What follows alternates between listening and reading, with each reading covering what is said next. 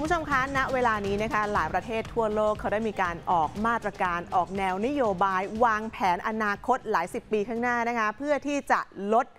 ปริมาณการปล่อยก๊าซคาร์บอนไดออกไซด์ออกมาให้ได้มากที่สุดนะคะ เพราะคาร์บอนไดออกไซด์นี่คือหนึ่งในตัวเร่งภาวะโลกร้อนเลยก็ว่าได้ค่ะ เพราะฉะนั้นวันนี้จะพาผู้ชมมาดูกันหน่อยเรื่องของแหล่งในการดูดซับก๊าซคาร์บอนไดออกไซด์ของโลกนะคะ อย่างที่เราทราบกันดีนะคะว่าต้นไม้ใบหญ้า ป่าไม้ต่างๆ นานาเนี่ยถือว่าเป็นแหล่งดูดซับก๊าซคาร์บอนไดออกไซด์ที่ดีมาก ๆ แหล่งหนึ่ง เขาเรียกกันว่า green carbon ค่ะ green carbon ก็คือการที่ต้นไม้ใบหญ้า หรือแม้กระทั่งเศษซากใบไม้ที่อยู่ตามพื้นนะคะ เขาจะดูดเอาก๊าซคาร์บอนไดออกไซด์เข้าไปค่ะ ถ้าเป็นต้นไม้เขาก็จะปล่อยเอาออกซิเจนเนี่ยออกมาทดแทน มันคือการหมุนเวียน กระบวนการในการสังเคราะห์แสงของต้นไม้นั่นเอง ต้นไม้เนี่ยเรียกได้ว่าเป็น carbon sink หรือว่าอ่างกักเก็บคาร์บอน ภาคผืนดินที่ใหญ่มาก ๆ นะคะ แต่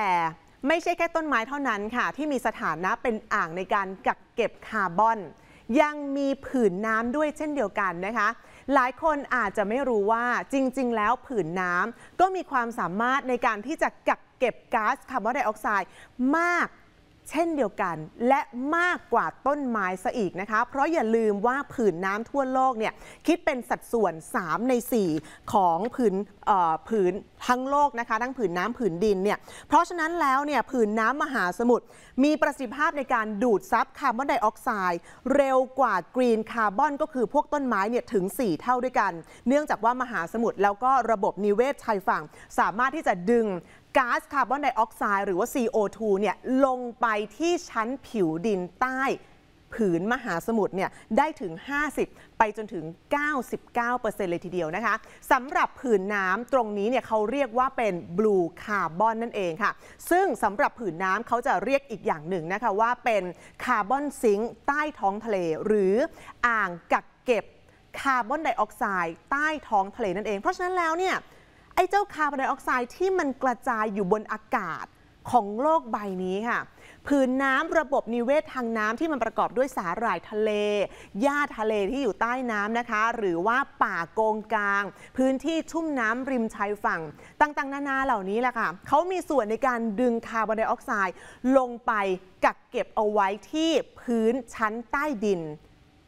ข้างล่างนั่นเองนะคะ เพราะฉะนั้นแล้วข้างล่างเนี่ยจะเต็มไปด้วยคาร์บอนไดออกไซด์เป็นจำนวนมากทีเดียวค่ะ ทีนี้ล่าสุดนะคะทางองค์การยูเนสโกนะคะหรือว่าหน่วยงาน ด้านการศึกษาวิทยาศาสตร์ และวัฒนธรรมแห่งสหประชาชาติ เขามีการเปิดเผยข้อมูลเพิ่มเติมออกมานะคะที่ค่อนข้างน่าสนใจทีเดียวค่ะ เขาพบแบบนี้บอกว่าแหล่งมรดกโลกทางทะเล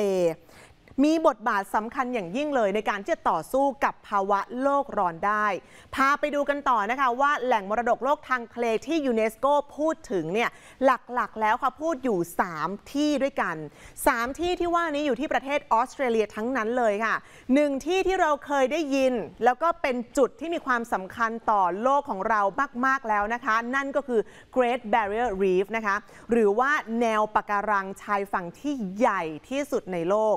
สำหรับ Great Barrier Reef นะคะอยู่ในพื้นที่แถบตะวันออกเฉียงเหนือของประเทศออสเตรเลีย นอกจาก Great Barrier Reef แล้วยังมี Shark Bay ค่ะ รวมไปถึง Ningaloo Coast นะคะอยู่ที่รัฐ Western Australia ก็คือแถบทางตะวันตกของออสเตรเลียนั่นเอง 3 จุดนี้ค่ะที่ยูเนสโกบอกว่าคือแหล่งมรดกโลกทางทะเลที่สำคัญมาก ๆ สัดส่วนของเขา ถ้าหากว่านับแค่ 3 จุดผืนน้ำ3จุดนี้น้อยมากนะคะ เมื่อเทียบกับผืนน้ำทั่วทั้งโลกเขาคิดเป็นสัดส่วนแค่ประมาณ 1%ของผืนน้ำทั่วทั้งโลกค่ะ ในขณะเดียวกันนะคะ มันเป็นแหล่งบลูคาร์บอนหรือว่าเป็นแหล่งในการกักเก็บคาร์บอนมากถึง 15%ค่ะพื้นที่เขาน้อยแค่ 1%ของมหาสมุทรทั่วโลก แต่เขาสามารถกักเก็บบลูคาร์บอนได้เนี่ย 15%โดยสัดส่วนแล้วเนี่ยสามารถเก็บก๊าซคาร์บอนได้สูงถึง 2,000 ล้านตัน นี่เป็นตัวเลขที่ค่อนข้างเยอะทีเดียวนะคะ แล้วก็ค่อนข้างน่าสนใจมาก ๆ ว่าพื้นที่ชายฝั่งของประเทศออสเตรเลียตรงนี้เนี่ยมีส่วนสำคัญอย่างยิ่งเลย ในการที่จะทำให้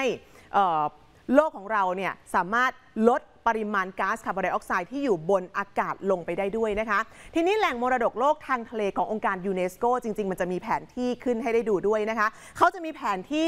หลายต่อหลายแห่งเลยทีเดียวนะคะ ที่เป็นแหล่งมรดกโลกทางทะเลที่มีส่วนสำคัญ ในการที่จะดึงก๊าซคาร์บอนไดออกไซด์เหนือผืนน้ำลงไปใต้ผืนน้ำตรงนี้เองค่ะ แหล่งมรดกโลกทางทะเลเนี่ย มีความสำคัญอย่างยิ่ง เพราะนี่คือการทำหน้าที่เป็นผู้ดูแลระบบนิเวศ หรือว่า blue carbon ที่ใหญ่ที่สุดในโลกค่ะ แน่นอนว่าพื้นที่เหล่านี้ตอนนี้ก็กำลังเผชิญกับความท้าทายใหญ่เช่นเดียวกัน ว่ามันจะอยู่รอดได้อีกนานขนาดไหน เพราะมันมีภัยคุกคามเกิดขึ้นหลายอย่างนะคะ ไม่ว่าจะเป็นขยะจากน้ำมือของมนุษย์เอง ไม่ว่าจะเป็นมลพิษทางน้ำจากน้ำมือของมนุษย์ด้วยเช่นกัน รวมไปถึงระดับน้ำทะเลที่สูงขึ้นจากภาวะโลกร้อน ดังนั้นบลูคาร์บอนเนี่ยมันไม่ได้มีความสำคัญเฉพาะเพียงแค่การกักเก็บคาร์บอนนะคะ แต่มันมีอันตรายด้วยเช่นเดียวกัน เพราะถ้าหากว่าพื้นที่เหล่านี้มันถูกทำลายเสียหาย ถ้าหากว่าสาหร่ายใต้ท้องทะเลมันหายไป ถ้าหากว่าหญ้าทะเลมันหายไปจากภาวะโลกร้อนมันตายลงไป ป่าโกงกลางไม่เหลือแล้ว พื้นที่ชุ่มน้ำไม่เหลือแล้ว ตรงนี้มันก็จะส่งผลให้ไม่สามารถที่จะกักเก็บก๊าซคาร์บอน ใต้ผืนดินเอาไว้ได้ด้วยเช่นเดียวกัน และจุดนั้นเองค่ะ อาจจะทำให้ไอ้คาร์บอนที่มันเคยอยู่ใต้ชั้นผืนดินใต้น้ำเนี่ยมันอาจจะปะทุขึ้นมาอีกก็เป็นได้ เพราะฉะนั้นสหประชาชาติก็ชี้นะคะว่าประเทศต่างๆเนี่ยควรจะได้รับเครดิตในการฟื้นฟูและอนุรักษ์พื้นที่ที่เสียหาย ก็จะเป็นแรงจูงใจค่ะ ที่จะทำให้ประเทศต่างๆ เหล่านั้นเนี่ยร่วมด้วยช่วยกันในการที่จะปกป้องระบบนิเวศทางทะเล